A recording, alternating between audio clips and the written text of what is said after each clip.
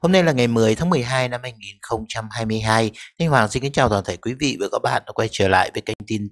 truyền thông của chúng tôi ngày hôm nay. Ngày mới kính chúc quý vị mạnh khỏe, bình an và hạnh phúc. Thưa quý vị và các bạn thân mến, sắp bị sờ gáy, Vũ Đức Đam bất ngờ nói nhảm về giàu nghèo. Báo Đảng không dám nhắc tên Vũ Đức Đam trong bản tin về vụ Nguyễn Văn Trịnh, trợ lý của ông này bị bắt vì dính tới vụ Việt Á. Ngày 30 tháng 11, cơ quan cảnh sát điều tra Bộ Công an khởi tố bị can, bắt tạm giam Nguyễn Văn Trịnh, trợ lý của Phó Thủ tướng Vũ Đức Đam với cáo buộc lợi dụng chức vụ quyền hạn trong khi thi hành công vụ. Cơ quan điều tra xác định Nguyễn Văn Trịnh đã lợi dụng vị trí công tác để mà can thiệp, tác động vào các đơn vị cá nhân có trách nhiệm tại Bộ Y tế để công ty Việt Á được cấp số đăng ký lưu hành kit xét nghiệm COVID-19 trái với quy định của pháp luật, giúp cho công ty Việt Á tiêu thụ sản phẩm kit xét nghiệm tại các đơn vị địa phương, gây thiệt hại đặc biệt nghiêm trọng tài sản của nhà nước.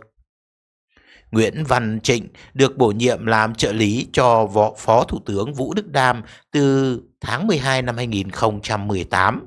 Nhiều tháng trước thì Vũ Đức Đam còn được báo đảng và dư luận viên nâng bi với bài thơ và ca khúc Ngủ một chút đi anh ca ngợi sự tận tụy của ông này trong công tác phòng chống đại dịch COVID-19.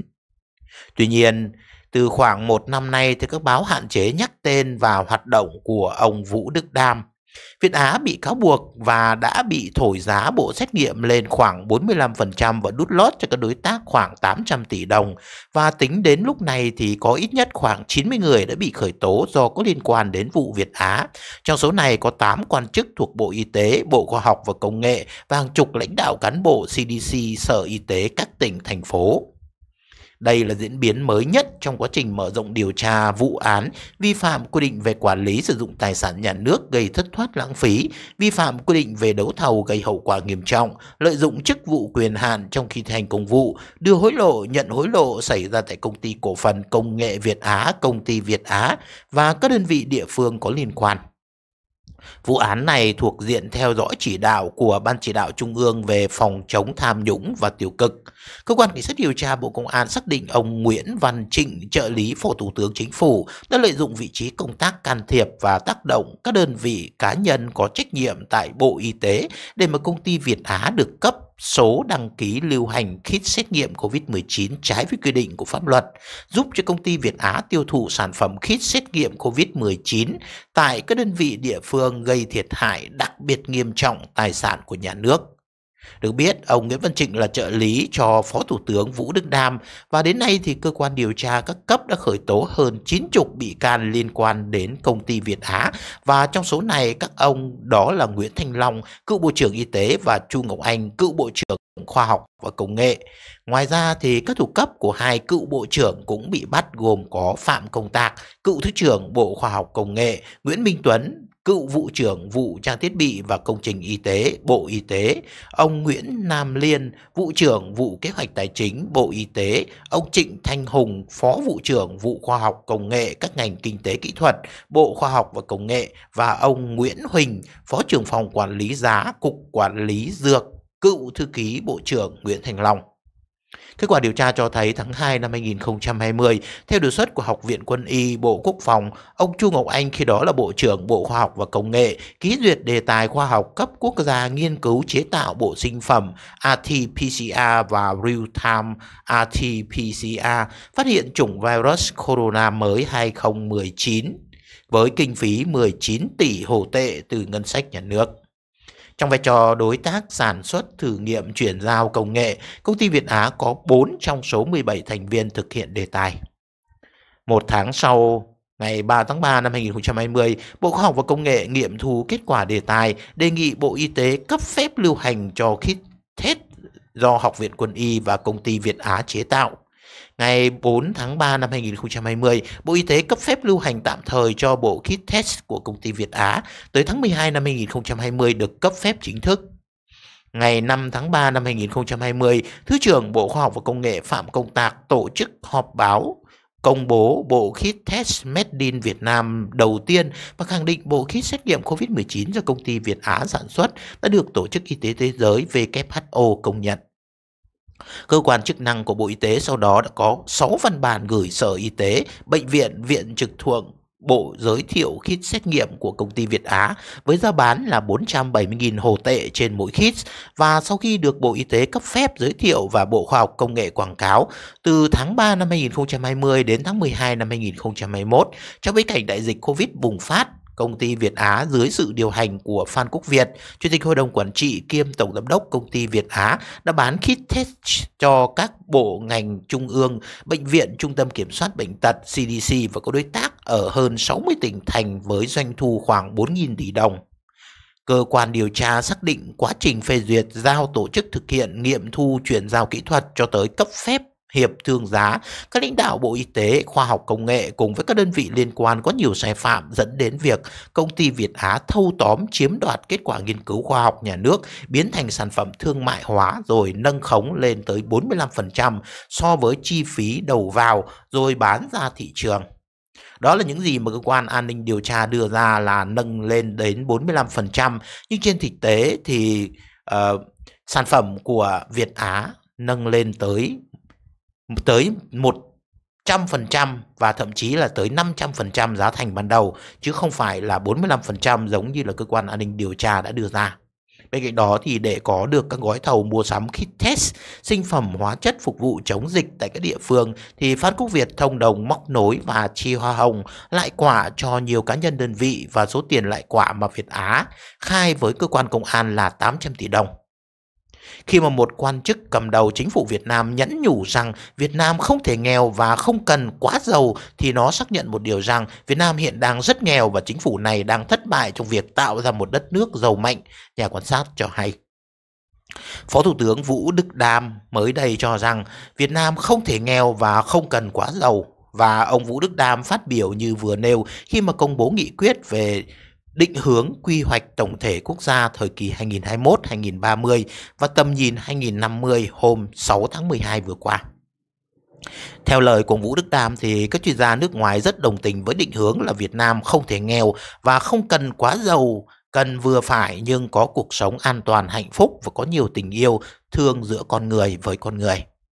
Người dân Sài Gòn không muốn nêu tên nói rằng làm gì có hạnh phúc và người dân có một số ít nào đó giàu có nhưng cũng không hạnh phúc được vì bây giờ thực phẩm bẩn thậm chí là người giàu cũng không biết ung thư chết bất cứ lúc nào, tai nạn giao thông xảy ra bất cứ lúc nào và đó là người giàu chứ nói gì người nghèo phải chạy ăn từng bữa khổ tè tua.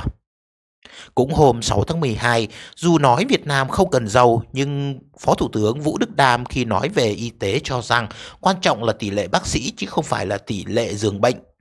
Bên cạnh đó, tỷ lệ điều dưỡng cũng rất quan trọng. Thế giới có một bác sĩ thì có 3 đến 4 điều dưỡng viên, còn ở Việt Nam thì chỉ có 1,5 người. Ông Đàm nói, nguyên nhân căn bản nhất là do chúng ta nghèo và bệnh giá bảo hiểm y tế của Việt Nam hiện chỉ bằng 1 phần 30 các nước phát triển, 1 phần 10 các nước đang phát triển và trung bình cao như Việt Nam.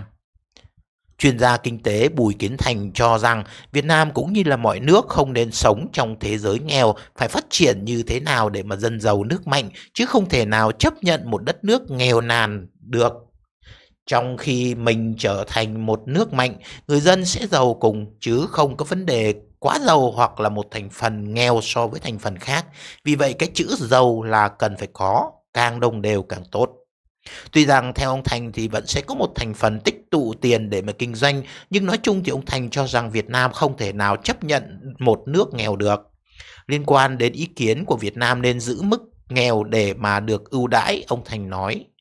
Không thể nào chấp nhận một quốc gia nghèo để mà đi xin ưu đãi và những vấn đề giúp đỡ của nước ngoài là bất đắc dĩ. Trong tình trạng nào đó, mình cần có sự giúp đỡ của bạn bè nước ngoài, nhưng đó là trong thời kỳ mình đang gặp khó khăn. Mình phải vươn lên để mình tự túc, vươn lên để mà mình có thể giúp các nước khác nữa, chứ không phải nghèo để mà đi tiếp nhận giúp đỡ của nước ngoài.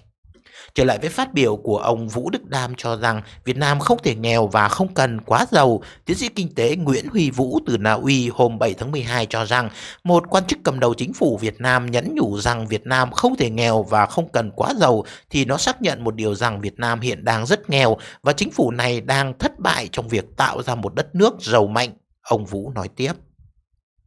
trở thành một quốc gia văn minh giàu mạnh hùng cường và nơi mà người dân sống hạnh phúc là ước mơ của tất cả người dân Việt Nam và cả những người dân của thế giới. Đó là lý do mà người Việt ngày nay vẫn tìm cách di cư ra các nước phát triển giàu mạnh để tìm kiếm cơ hội và thậm chí nhiều người tìm mọi cách để đi bất chấp nhiều rủi ro. Theo tiến sĩ Nguyễn Huy Vũ, một quốc gia giàu chưa chắc làm cho tất cả mọi người dân đều hạnh phúc, nhưng một quốc gia nghèo sẽ làm cho hầu như tất cả mọi người dân mất đi hạnh phúc. Và nhiệm vụ của một người lãnh đạo quốc gia do đó phải là làm cho quốc gia giàu mạnh hùng cường. Ông Vũ nói tiếp về hiện trạng của Việt Nam. Việt Nam hiện nay vẫn là một quốc gia rất nghèo theo tiêu chuẩn của thế giới và người dân ở các vùng xa đang thiếu đói nhưng ngày giáp Tết, trẻ em không được đến trường và trường học tạm bỡ, giáo dục không đạt chất lượng và thiếu giáo sư có trình độ công nhân lương không đủ để mà sống, thất nghiệp thì đang tràn lan, bệnh viện không đủ giường và thiếu thuốc men, thiếu bác sĩ, trình độ khoa học kỹ thuật không có, lao động không có, tay nghề, doanh nghiệp thiếu công nghệ, nền kinh tế chủ yếu dựa vào gia công, ngân sách nghèo nàn, đường xá cầu cống, hệ thống hạ tầng đều cần phải cải thiện rất nhiều để mà đạt tới mức trung bình của thế giới, hầu đáp ứng nhu cầu cơ bản của Việt Nam.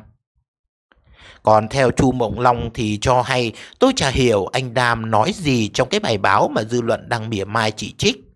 Nhưng nếu anh nói thà phát triển kinh tế chậm bền vững thì tôi hoàn toàn đồng tình, bởi phát triển nhanh mà tàn phá thì đúng là một thảm họa. Tôi nghĩ tất nhiên thì anh Đam chỉ trình bày ý kiến cá nhân của mình, bởi phía tuyên giáo đại diện là VTV vài đêm trước lấy ý kiến chuyên gia nước ngoài và cũng như lâu nay tự vũ ngực, tự hào trong lúc kinh tế nước ngoài suy thoái thì ta vẫn tăng trưởng nhanh và ngoạn mục. Một giảng viên dạy kinh tế đại học Tại phòng đợi cũng nói giọng tuyên giáo rằng kinh tế ta phát triển ngoạn mục, tỷ lệ tăng trưởng rất cao và còn nhấn mạnh rằng có các chuyên gia kinh tế nước ngoài khen chứ không phải chỉ ta khen ta. Nghe vậy tôi đành phải chen vào tôi nói tôi không phải chuyên gia kinh tế học nhưng bằng trải nghiệm thực tế tôi thấy có hai cái bẫy mà các bạn rơi vào. Một là tăng trưởng kinh tế cao theo cách đào vét tài nguyên phá rừng, phá đồng ruộng và lấp hồ lấn sông để mà phân lô bán nền thì chẳng khác nào thằng con hư hỏng đào mỏ của ông bà để lại, chơi đề đóm cờ bạc để làm giàu nhanh. Thì đấy, Xét trước mắt thì thằng con đó hoàn toàn vô sản và bỗng được thừa kế một gặp vận mệnh hên và trong khoảnh khắc gia tài tăng trưởng một cách đột biến và ngay cả kêu gọi đầu tư từ nước ngoài thì số tiền họ ném vào cũng chỉ là tiền của người ta đầu tư sinh lãi. Ta chỉ hưởng một phần mà không tính đến thiệt hại tài nguyên và môi trường. Chẳng phải có quyển sách do chính chuyên gia kinh tế Việt Nam viết rằng miền Nam, Việt Nam trước năm 1975 tăng trưởng kinh tế nhanh là do Mỹ ném tiền vào chứ thực lực thì không có đấy sao? Đã có bao giờ các bạn tính đến tăng trưởng thì phải giảm trừ thiệt hại chưa? Thiệt hại là tài nguyên, môi trường, kể cả tham nhũng, nếu như mà nói tăng trưởng 7% đến 8% mà tổng thiệt hại đến 50% thì có gọi là tăng trưởng hay là không? Trong khi ở quốc gia người ta chỉ tăng trưởng có 1% đến 2% mà không biết thiệt hại gì bởi họ khôn ngoan tìm cách mang tiền ra nước khác để đầu tư để không đào bới tài nguyên và gây ô nhiễm nơi nước của họ. Tôi chỉ vui mừng khi chính Việt Nam đủ tiềm lực mang tiền ra nước ngoài đầu tư kia. Hai là cái bẫy bình quân thu nhập gây khốn đốn dân lành ai cũng thấy và tay hay lấy bình quân thu nhập ra mà tự hào ngợi ca không ngớt đem tiền quan chức và đại gia có được hàng nghìn tỷ cộng với thu nhập của công chức, viên chức, lương thiện và dân nghèo kiếm ăn từng bữa rồi chia thành bình quân thành cái gọi là bình quân thu nhập có oan cho đa số công chức, viên chức, lương thiện và người dân nghèo hay là không? Anh ăn cao lương mỹ vị ở biệt phủ đi ô tô, còn tôi ăn mắm mút giòi, nhưng cũng mang tiếng được hưởng cao lương mỹ vị và ở biệt phủ đi ô tô như anh Trăng. Ở cái xứ giấy chết dẫu khoảng cách giàu nghèo không nhỏ, nhưng phúc lợi cực lớn, nên có thất nghiệp thì vẫn được trợ cấp khá cao và họ mới có thể ngồi tính bình quân thu nhập mà không oan cho ai cả.